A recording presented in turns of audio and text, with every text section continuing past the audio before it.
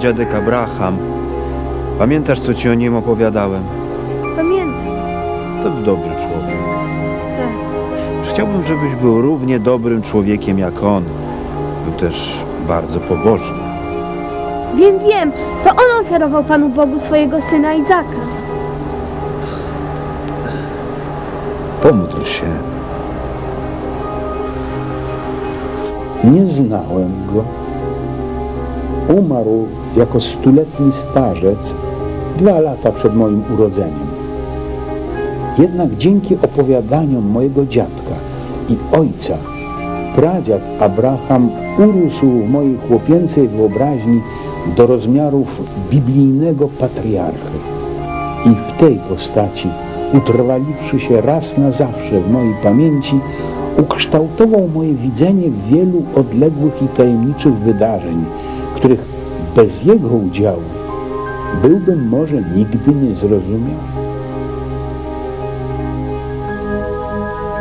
Staraj się Biblię czytać na różne sposoby. Niekiedy czytaj z mędrca szkiełkiem i okiem, badaj uważnie każde słowo tekstu.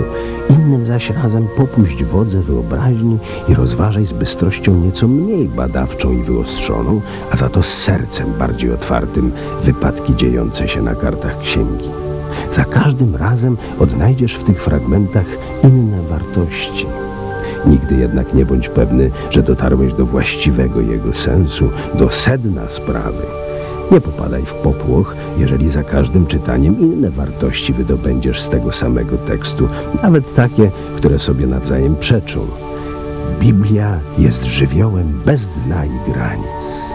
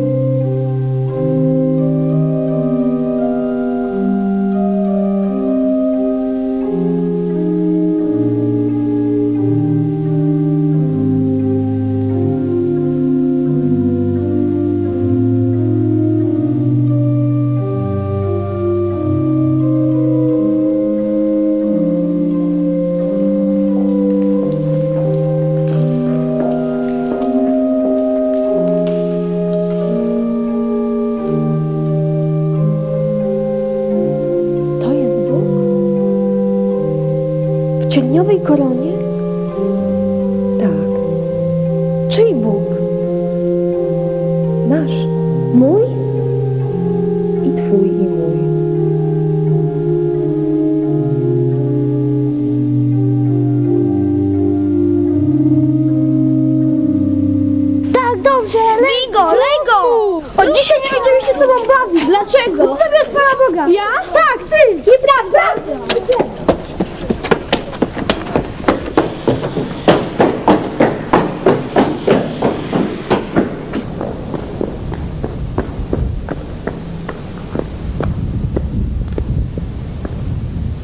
Ogarnął mnie lęk. Czułem, że ta postać wisząca na krzyżu znajduje się w jakimś niewidzialnym kręgu, którego nie umiem przekroczyć. Dlaczego wisi na krzyżu? Dlaczego w cierniowej koronie? Po co? W jakim celu?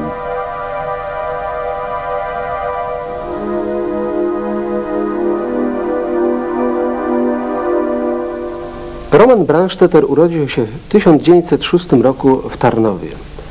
Zasadniczy wpływ na niego miał obok domu rodzinnego dziadek, prozaik hebrajski Mordechaj Dawid Branstettera. To właśnie dziadek powiedział mu o Biblii. Gdy się zestarzejesz, dojdziesz do przekonania, że wszystkie księgi, jakie przeczytałeś w życiu, są tylko nieudolnym komentarzem do tej jedynej księgi. Brandstetter wychowywał się w klimacie głębokiej wiary i tradycji, historii, kultury żydowskiej, w atmosferze otwartości na kulturę polską. Po oblanym egzaminie z greki, jak przystało na przyszłego tłumacza z greckiego, przenosi się do Krakowa, zdaje maturę, studiuje polonistykę, filozofię. Debiutuje w 1926 roku. Następnych latach publikuje doktorat, prace historyczno-literackie, kolejne tomiki poetyckie oraz zbiory publicystyki. Trzeba bowiem wiedzieć, że Brandstetter w latach 30. jako publicysta wdawał się z młodzieńczą werwą w liczne spory. Przy tym dodajmy nie tylko literackie. Zdarzyło mu się też pryncypialnie potępić tych, co odstąpili od wiary ojców, Antoniego Słonimskiego i Juliana Tuwima, czego po latach nie mógł sobie wybaczyć. Przedwojenna twórczość Romana Branstettera jest właściwie kompletnie zapomniana, z wielką szkodą dla tego dzieła. Nie tylko dlatego, że motywy i wątki y, tam pojawiające się po raz pierwszy będą później obecne w całej tej twórczości. Niestety najczęściej na zasadzie zaprzeczenia, bardzo ciekawego. Jest to jeden z głównych motywów praca, codzienność harmonijna, słoneczna, w której człowiek czyni sobie ziemię poddaną. Za chwilę pojawi się, zdaniem Czesława Miłosza, zupełnie inny obraz człowieka pracy, automatu, robota, wynalazku czeskiego pisarza Karela Czapka. Y, Brandstetter przywoła tutaj Golema. Innym motywem jest żydowski nacjonalizm jako antidotum na nacjonalizm niemiecki i również niestety na nacjonalizm polski. Ale przecież wkrótce w czasie II wojny światowej okaże się, jak, jak wielką klęskę poniosły wszystkie nacjonalizmy. I motyw trzeci, obecny gdzieś w dalekim, drugim, trzecim planie, Chrystus, Jeszua ben Józef. Ta postać pojawia się w wierszu Mesjasz, w wierszu Golgota i zdominuje późniejszą twórczość. A wiersz Tuwima, Chrystusie, okaże się dla Branstettera wręcz proroczy.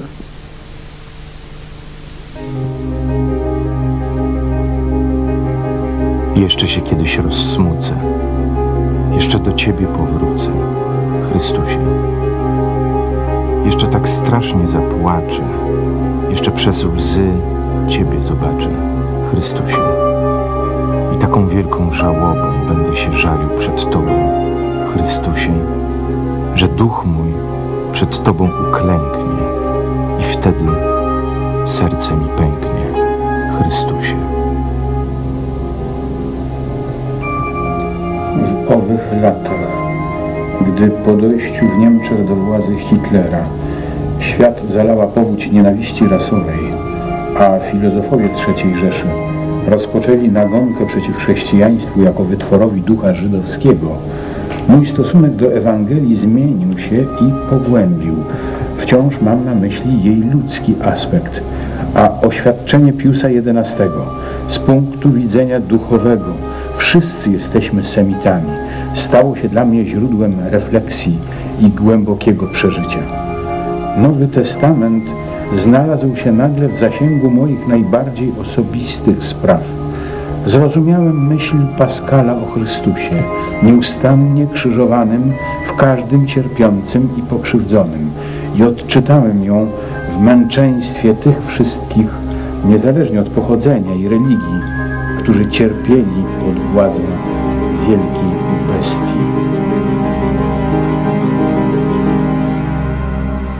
Tułaczkę wojenną rozpoczyna Branszteter w Wilnie, gdzie żeni się z Tamarą Karen. Z Wilna małżonkowie uciekają do Jerozolimy.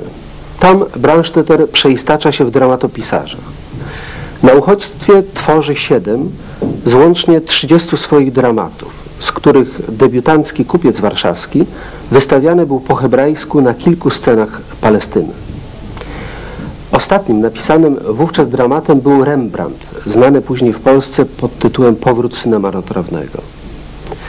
Blanchester pisał też do prasy żydowskiej i polskiej, jeździł z odczytami, brał udział w wieczorach poetyckich i tak zwanych dziennikach mówionych. W Palestynie czuł się źle. Krytykując w kupcu warszawskim antysemityzm polski, naraził się na oskarżenia o tendencje antypolskie. Choć wyrok sądu koleżeńskiego dziennikarzy oczyścił go z zarzutów, ale niechęć ludzka pozostała. Czuł się źle. Praca w nasłuchu radiowym nie była satysfakcjonująca.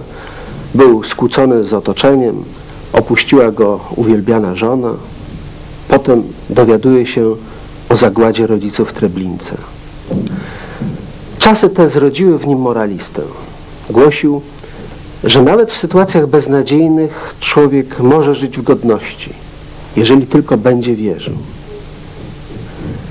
Człowiek tworzy świat, bo taki jest sens jego istnienia i twórczej pracy. Rzecz w tym, aby robił to odpowiedzialnie, do czego potrzebna mu jest pamięć historii wyczulenie na głos prawdy. Literatura też może mu w tym pomóc. Słowo co prawda nie zmieni ludzkości, ale może zmienić poszczególnego człowieka. W tym też upatrywał sens pisarskiego posłannictwa. W Jerozolimie Branstetter odnajduje Chrystusa. Przeistacza się w Żyda chrześcijanina i rozpoczyna niejako życie od nowa.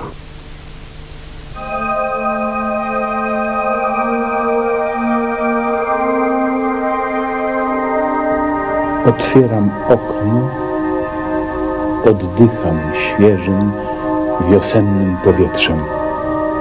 Jest pełnia księżycowa. Niebo na przekór wszelkim nieskończonościom rozpościera się jak bezpieczny dach nad światem. Ogranicza go, pomniejsza, zamyka i oddziela nas jak żelazną barierą od niebezpiecznej otchłani kosmosu. Na podobieństwo krajobrazu ukształtowały się twarze i dusze tych ludzi, którzy sumą swoich rysów, gestów, prac, obyczajów i nawyków potwierdzają tekst biblijny i przyświadczają jego prawdzie. Widziałem wykopaliska potwierdzające prawdę Pisma Świętego.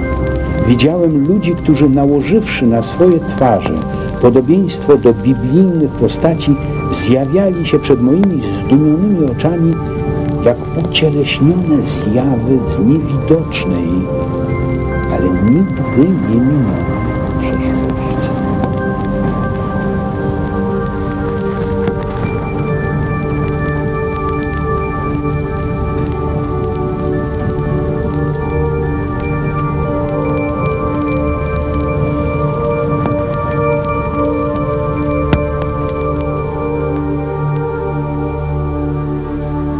Skończyłem pracę po północy, zapaliłem papierosa, wstałem od stołu, rozejrzałem się po pokoju i przypomniałem sobie, że nie mam w domu nic do czytania. Przerzuciłem leżące na stole broszury propagandowe, zwalone w nieładzie na półkę, jakieś powieści, które nie wiadomo dlaczego i po co znalazły się w biurze nasłuchu radiowego i zatrzymałem wzrok na leżącej obok jednego z biurek stercie starych tygodników. Wyciągnąłem na chybił, trafił kilka numerów. Z jednego z nich wypadła na podłogę dużych rozmiarów wkładka. Podniosłem ją. Była to reprodukcja rzeźby z XVII wieku Innocenza da Palermo z kościoła San Damiano w Asyżu, przedstawiająca ukrzyżowanego Chrystusa. Ten martwy Chrystus żył. Pomyślałem, Bóg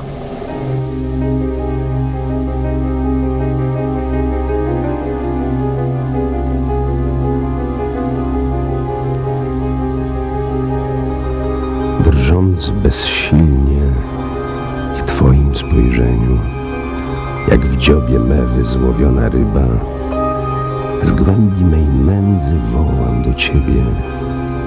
Wysłuchaj mojego głosu i moich dziejów. Nakłoń uszy swoje na głos moich modlitw i uczyń mnie dobrym człowiekiem. Albowiem tylko wówczas jestem, gdy jestem dobry. Oto jedyna miara mojego człowieczeństwa i istnienia.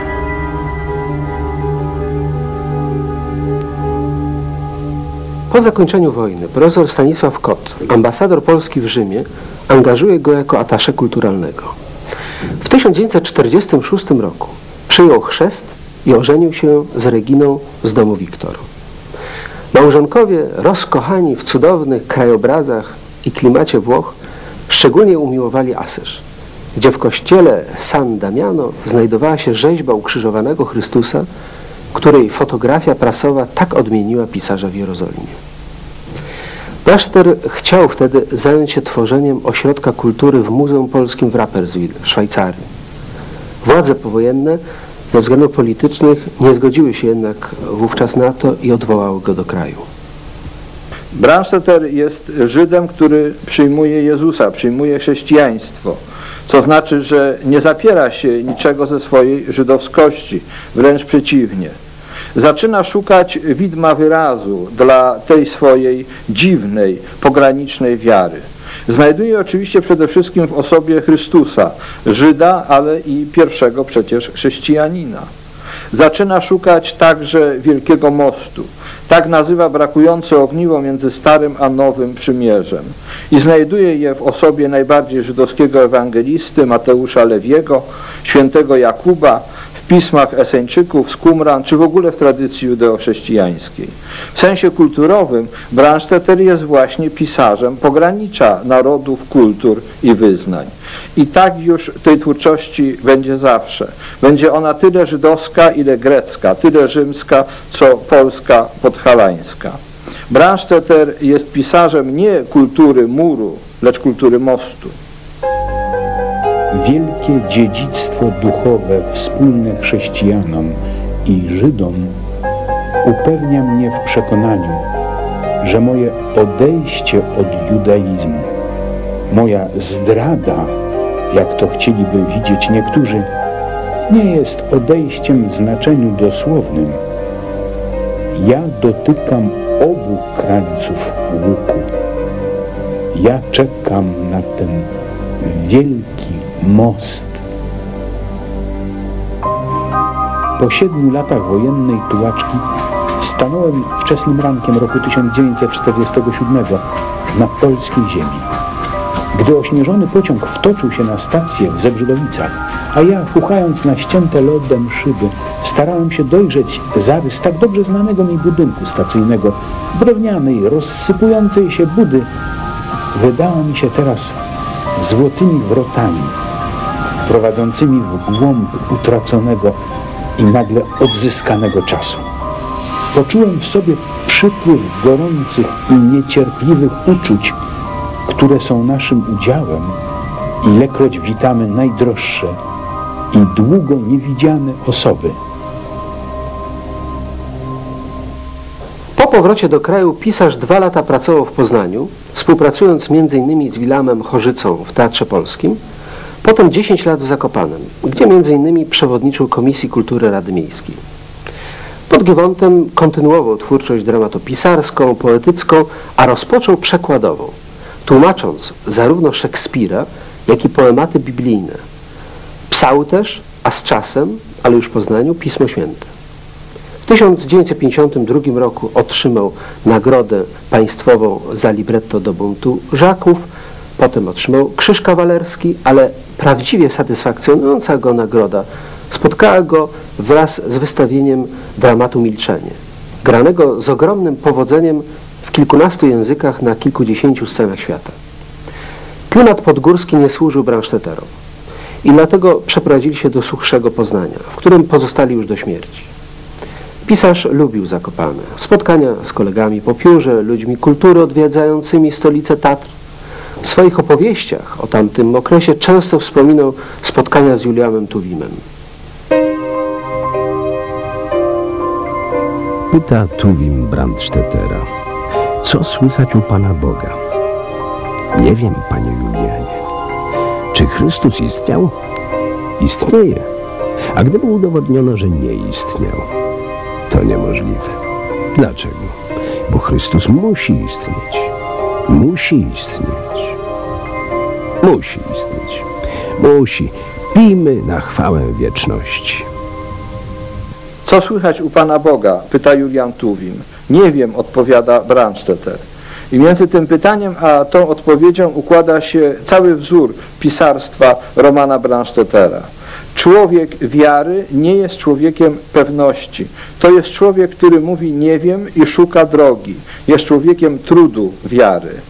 Pytanie, co słychać u Pana Boga, też jest pytaniem trudnym, ponieważ Bóg, Jezus z Nazaretu, to tyle samo człowiek, ile Bóg. Roman Brandstetter, zgadzając się z Simon Weil, uważa, że nigdy nie uwierzyłby w bóstwo Chrystusa, gdyby najpierw nie uwierzył w Jego człowieczeństwo. I pisze o swoim spotkaniu z Chrystusem w pieśni o moim Chrystusie. Nie uwierzyłby też w bóstwo Chrystusa, gdyby nie uwierzył w Jego historyczność.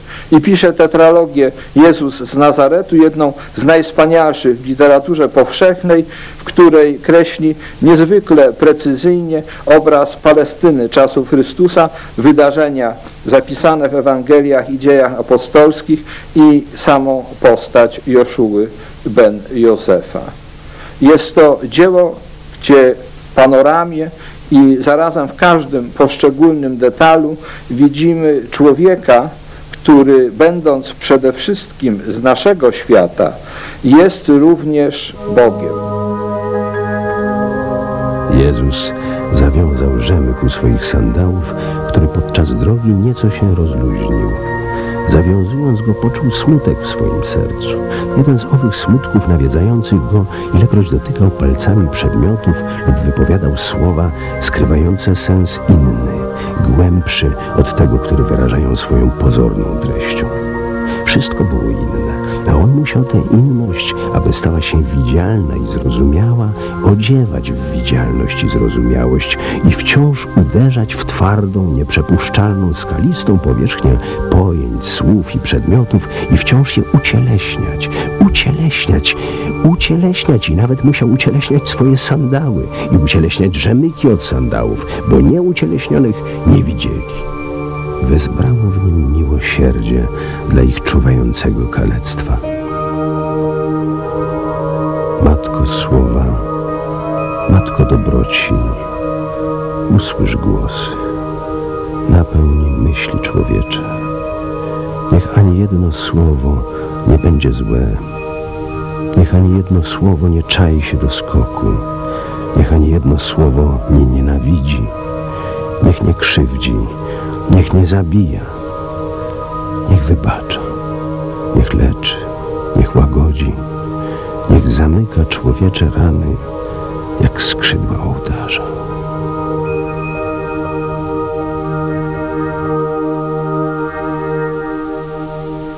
Branszteterowie dużo, jak na polskie realia, podróżowali, głównie do Czechosłowacji, Austrii i Italii, gdzie powstawała wspaniała liryka włoska. W połowie lat 60. pisarz zarzucił dramatopisarstwo. Ostatnim utworem scenicznym był Pokutnik z Osjaku, wystawiony niezwykle uroczyście w Wiedniu.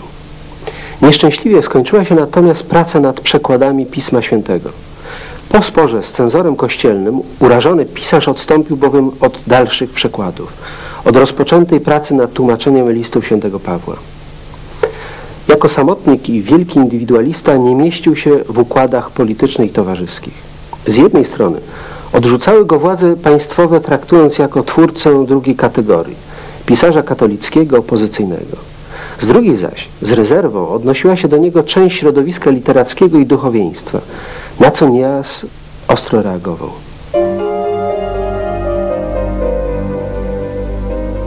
Co to za wysypisko? spytał Anselm zużytych, wytartych, znoszonych, łajdackich, fałszywych, bezwartościowych, zakłamanych twarzy, odparł Polikarp. Co z nimi zrobią? Pójdą na przemiał. I co z nich wyprodukują? Nowe twarze. Czy taka przeróbka się opłaci? Bardzo. Nabywcy się znajdą? Zawsze. Gdzie? Wszędzie, mój drogi, wszędzie. Nasza epoka jest bardzo chwiejna. Orientacje, stanowiska, poglądy, przekonania, opinie szybko się zmieniają. Panuje wciąż powszechne, wielkie zapotrzebowanie na nowe twarze. W tej dziedzinie produkcji, jak ludzka pamięć sięga, nigdy nie było kryzysu i stagnacji. To jest chodliwy towar. Ludzie rozkupują go w okamgnieniu. Brandstetter w literaturze polskiej w pewnym sensie jest y, twórcą wcale nie niezwykłym, bo żyjemy w kraju, w którym y, wiara bardzo głęboka i jak wiadomo tradycyjna, nigdy jednak nie szła w parze z intelektualnym zapisem teologicznym.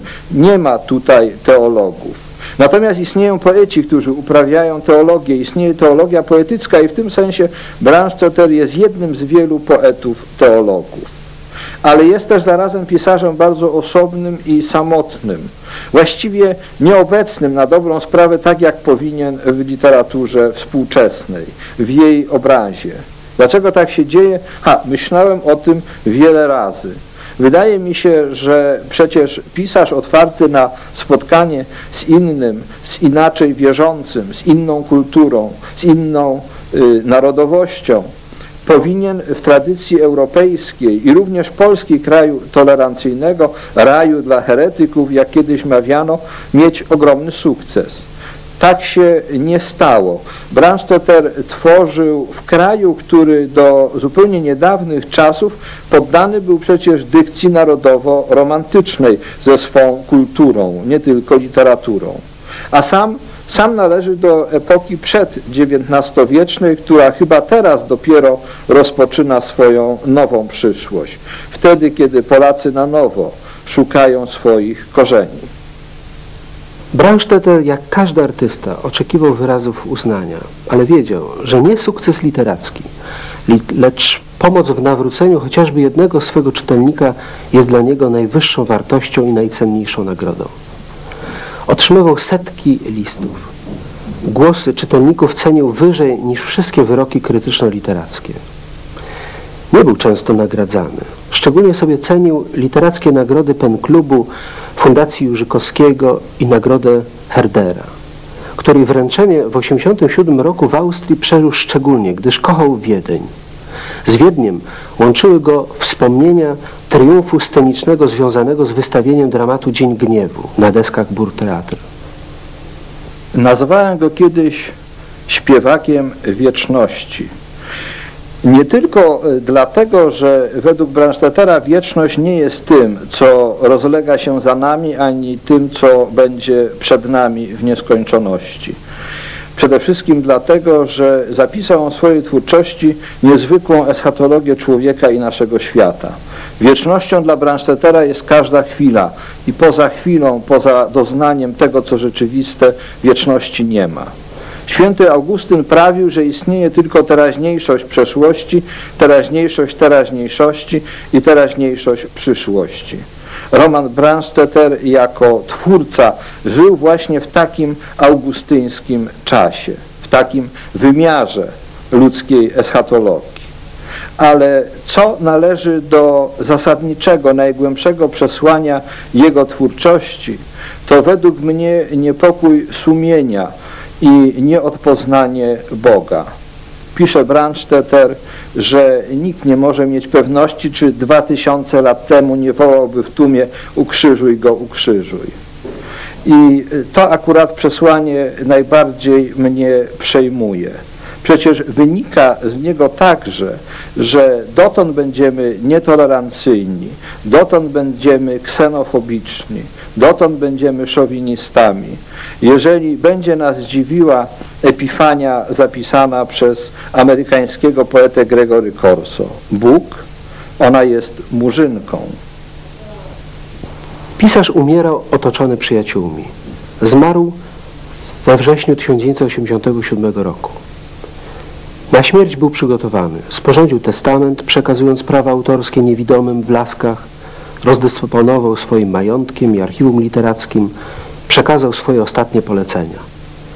To zgodnie z nimi nad trumną przemawiali wyłącznie duchowni, a do trumny włożyłem mu różaniec, jaki otrzymał od Jana Pawła II oraz fotografię rzeźby Chrystusa z Asyżu. Zaś do grobu wsypałem mu ziemię z Jerozolimy. Spoczął koło żony Reginy, która była, jak mówił, najwierniejszym i najpiękniejszym człowiekiem jego życia, natchnieniem jego najlepszych dzieł. Mieliśmy w naszej historii szereg postaci z pogranicza kultur, ludzi o podwójnej świadomości, polskiej niejako połączonej z ruską, niemiecką czy żydowską, którzy wzbogacali polską kulturę o najcenniejsze wartości. Tak też było z Branszteterem. Był wielkim humanistą, o umysłowości i wnętrzu zbudowanym z elementów biblijno-grecko-rzymskich, moralistą pełnym wewnętrznych sprzeczności człowiekiem, który mówił pod koniec życia Teraz widzę, że to, co mnie w życiu spotkało, miało sens. I mogę odnieść do własnego życia słowa Alberta Einsteina. Pan Bóg pisze prosto po liniach krzywych.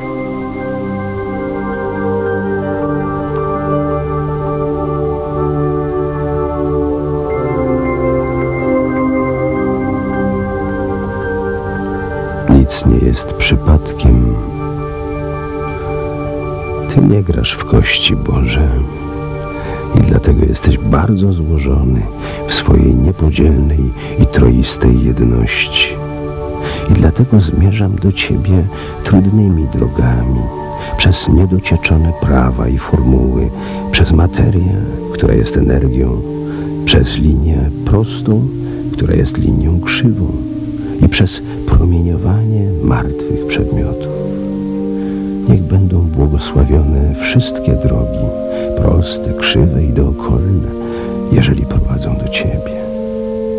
Albowiem moja dusza bardziej tęskni za Tobą, niż tęsknią nocni stróże pokryci rosą za wschodzącym słońcem. Połóż dłoń na człowieczej trzcinie i dotknięciem palców muzykę nowego życia. Boże,